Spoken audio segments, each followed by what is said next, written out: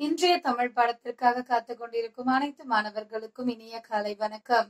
மாணவர்களே ஆஹ், உலகிலேயே அதிகம் உழைப்பவர்கள் யார்? இந்த கேள்வியை நான் உங்களிடம் கேட்கிறேன். சிந்தித்து பாருங்கள். சற்று சிந்திக்க வேண்டிய ஒரு தருணம் இது. சரி. சிந்தனை எவ்வாறு பிறக்கிறது நமக்குள்? சிந்திக்க சொன்னேன். சிந்தனை எவ்வாறு பிறக்கும்? சிந்தனைக்குரிய பகுதி எது நம் உடல்? பாகங்களில் எவ்வாறு நாம் சிந்திக்கிறோம்? எவற்றின் துணை கொண்டு நாம் சிந்திக்கிறோம்? என்று சிந்தித்து பாருங்கள். ஆம் உங்களுடைய குரல் என்னுடைய காதுகளில் ஒழிக்கிறது ஆம் மாணவர்களே மூளை இல்லையா? சிந்தனையின் புறப்பிடம் மூளை அறிவு அப்படின்னு சொன்ன உடனே அறிவை குறிக்கும் பகுதியாக நமக்கு நினைவுக்கு வருவது எது? மூளை இல்லையா? சரி இன்னைக்கு இந்த உடல் அப்படின்றதே ஒரு விந்தையான ஒரு விஷயம். நம்ம வந்து ஒரு இடத்துல அமைதியா உட்கார்ந்துட்டு இருந்தாலும் நம்ம உடல் பாகங்கள் உடல் கூறுகளில் நிறைய செயல்கள் நடந்து கொண்டேதான் இருக்கும். உடல்ல என்ன இருக்கும்? உள்ள தசையும் ச- அந்த சதையும் ரத்தமும் நரம் விளைகளும் எலும்புகளும் இதெல்லாம் இருக்கும். இதெல்லாம் சேர்ந்து ஒரு கூடுதான் உடல் அப்படின்றது. சரி தலை அப்படின்றது இந்த உடலின் முதன்மை பகுதி. தலைனா முதன்மைன்னு அர்த்தம். இந்த தலை அப்படின்ற பகுதி இல்லை அப்படின்னா உடலுக்கு அங்க வேலையே இல்லை. தலை இல்லாத அந்த உடலை என்னன்னு சொல்லுவாங்க? முண்டம் அப்படின்னு சொல்லுவாங்க இல்லையா? முண்டம் முண்டம் திட்டுவாங்களா திட்டக்கூடிய வார்த்தையல்ல முண்டம் அப்படின்னா தலை இல்லாத வெறும் உடலை வெற்று உடலை யாரும் மதிக்காத அந்த உடலை குறிப்பிடக்கூடிய சொல். தலை இருந்தால்தான் உடலுக்கு மதிப்பு.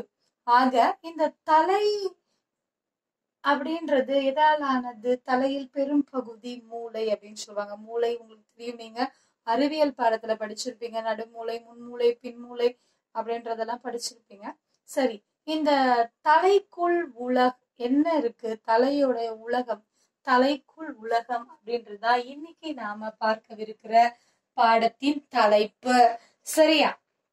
இப்ப பாருங்க. இந்த பாடத்துக்கு போகலாம். பக்கம் ஐம்பத்தி ஒன்பது தலைக்குள் ஓர் உலகம். உலகத்திலேயே மிக மிக வியப்பானது மனித மூளை. அதன் செயல்பாடுகள் விந்தையானவை மட்டுமல்ல புதிரானவை. மருத்துவ மேதைகளும் அறிவியலாளர்களும் இதனை தொடர்ந்து ஆராய்ந்து கொண்டிருக்கிறார்கள்.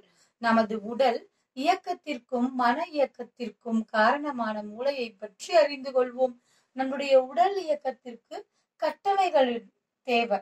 இது எப்படி சிஸ்டம்க்கு வந்து கமாண்ட் கணிப்பொறிக்கு வந்து கமாண்ட்ஸ் கொடுக்குறோம். கமாண்ட் கொடுத்தாதான் அது வந்து செயல்படும். செ- அந்த அரித்மெட்டிக் ஃபங்க்ஷன்ஸ்லாம் வந்து கமாண்ட்ஸ் கொடுக்குறோம். அந்த லாங்குவேஜஸ் க கணிப்பொறிக்குன்னு தனியாக கணிப்பொறி மொழி இருக்கு இல்லையா? அந்த மாதிரி. அந்த லாங்குவேஜில் கொடுக்குற கமாண்ட்ஸ் மூலமாக தான் ஒவ்வொரு ஆப்பும் வந்து என்ன ஆகுது? செயல்படுது. செயலியாக மாறுது. அது மாதிரி நம்மளை செயல்பட வைக்கக்கூடிய நம் உடலின் ஒரு முக்கியமான உறுப்பு அப்படின்னு பார்த்தா மூளை.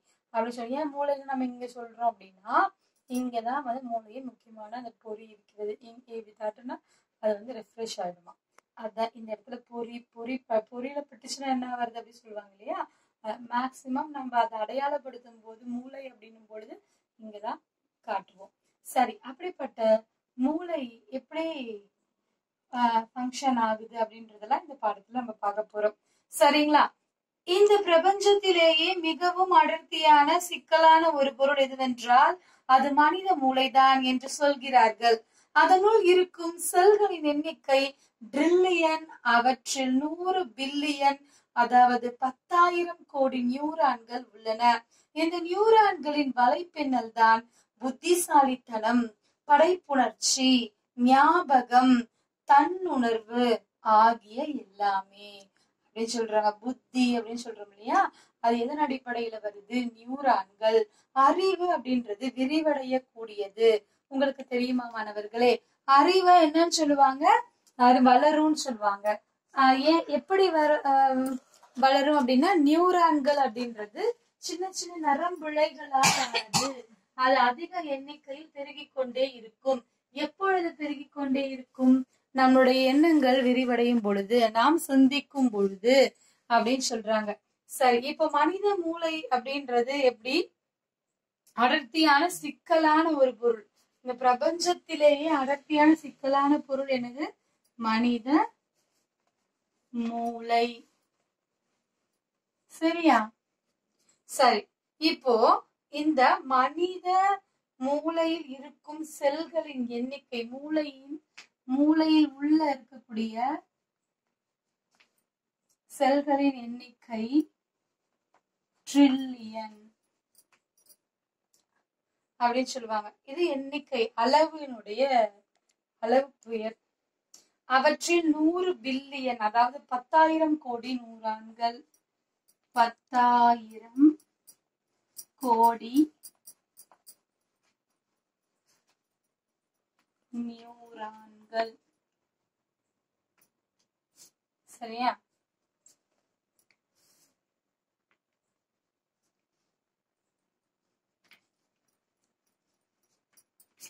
எவ்வளவு பத்தாயிரம் கோடி நியூரான்கள். சரியா? இருக்கு. இந்த நியூரான்களின் வலைப்பின்னல் தான் என்னென்னலாம் மாறுது? புத்திசாலித்தனம்.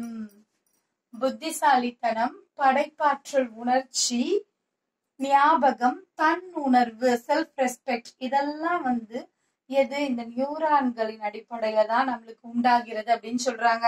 சரி இப்ப மூளையின் அமைப்பை பற்றி பார்க்கலாம். சரியா மாணவர்களே அடுத்து நாம என்ன பார்க்க போறோம்? மூளையின் அமைப்பு.